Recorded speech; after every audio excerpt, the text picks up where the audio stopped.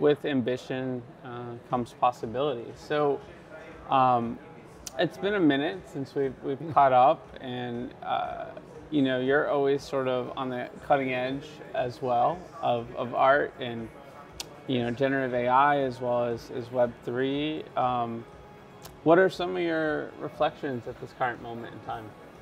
Well, it's been a it's been a tough couple of years uh, in the bear market, but as always, even even in the events that we've now done, um, many of them, uh, Wow Summit was the last one. Uh, yeah, it was a we were a media partner for them as well just a couple days ago. Uh, incredible event. They did they did an amazing job. It was slightly more quiet than usual, but what I enjoy about the bear markets is that you have less of the hypey type people. It's the real builders who kind of go through the bear markets and especially throughout this time. And I'm sure next year, year we're going to start picking up, picking back up again. NFTs are not dead. They're coming back in the next cycle and hopefully a little bit more mature and a little bit more wise way. Um, so, so this is a, a peculiar question to ask someone that's more of an artist and you've been into digital art. Um, you know, for a long time, you know, you shared your perspective on the history of art and how it's sort of evolved to this point. But when you look at sort of the practical use cases for, you know, verifiable digital assets, at, at the end of the day, are you still uh, super excited about the real world utility of like uh, tokenizing something like uh, cars? I know, I know you have that project with Dr. Marwan. Or are there other use cases that you think are uh, more promising, or is it just a combination of all of the above or none of the above? well, it's a combination. Um, I mean, um, uh, you know, how we utilized NFTs uh, for the first run of it, I'm not too big of a fan of. Um, I understand that that's what happened to ICOs, but ICOs essentially didn't go anywhere. It's just we got wiser in how we implement them. Um, but yeah, we, we have, a, have plans on essentially that digital artwork becoming a part of your identity. It's no longer a painting on your wall, it's something that you transform into a variety of different forms.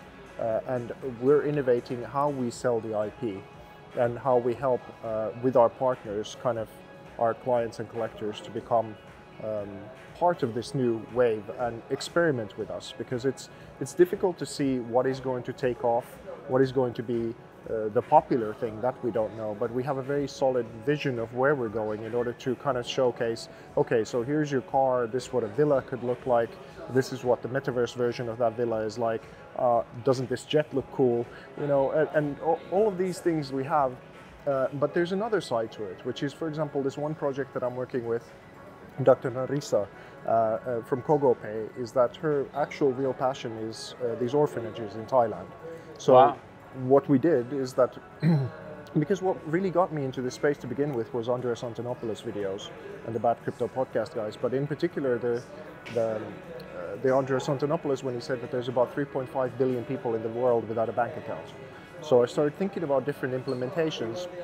So what we did with Dr. Narissa and this Heavenly Home in Thailand, which is a kids orphanage place, is that we got the kids to draw some uh, crayons and things like that and then we digitize them. We're going to have a professional animator turn them into NFTs, and then put them on an international marketplace. And if we have some support, then if and when some child's uh, NFT sells, that kid directly gets some money onto their crypto wallet, as well as the orphanage itself gets some operational funds. So imagine what your post- not not like the NCAA. It took them like. Uh about 80 years to decide to, to allow the athletes to get you know compensation for their value. So I mean, that's an incredible lesson to, to teach, you know, orphans at such a young age that there is value in everything that they create in the world. It's just, I, know you're going to explain more, but I, I had to stop you because it's just so such a beautiful use case. Right. The views and opinions expressed on Edge of NFT reflect solely those views and opinions of the show hosts and its guests. Please make sure to do your own research. Our show is not financial advice. You understand that you are using any and all information available on or through this podcast at your own risk. Whenever making financial decisions, we recommend doing your own research and talking to your accountant for financial advice. From time to time, we may feature sponsored content on the show for which we receive value, and we may share links for which we receive a commission if you make a purchase through one of those links. Refer to our website, www.edgeofnft.com, for our full disclaimer, terms and conditions, and privacy policy.